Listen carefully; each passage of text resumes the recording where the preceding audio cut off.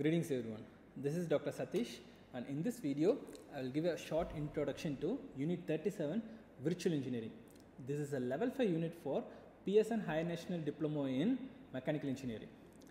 So in this unit as the title states we will be studying about simulation and analysis. Simulation means how we will be using a computer and software analysis softwares like Abaqus, SolidWorks and uh, other uh, available softwares to perform loading conditions and understand how the material will behave.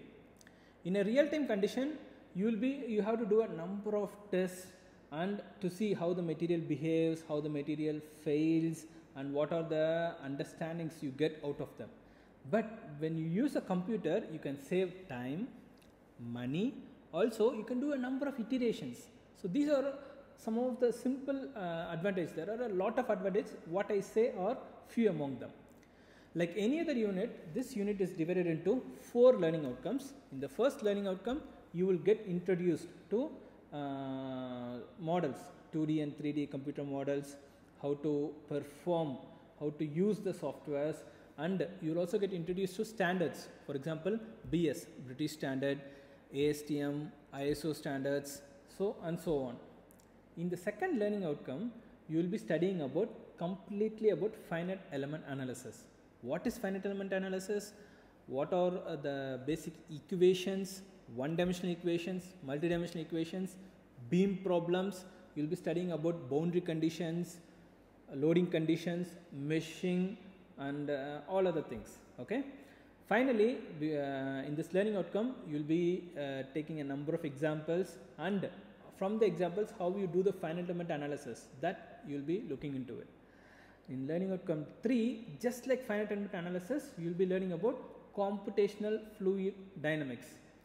Here you will be studying about finite volume method. Okay, in new learning outcome 2, finite element method. In learning outcome 3, finite volume method. Okay, so how the meshing and everything is done here and everything you will learn. And like in learning outcome 2, you will be given example problems you will be studying about uh, how a fluid flow happens around an aircraft, around a fluid body, a lot of interesting things in CFD. When it comes to learning outcome 4, just you will be learning about how to, you are done with the analysis, okay. In learning outcome 1, introduction, 2 and 3 you are done with the analysis and in learning outcome 4, you learn about how to interpret the results, how to take the simulation results and what you understand out of them. That is very important. Also how you present them, okay? So this is what you are going to learn and uh, this will be very interesting unit very important because this will help you to do better projects uh, research projects okay? Unit 34 is about research project. So good luck everyone. Let us explore this unit together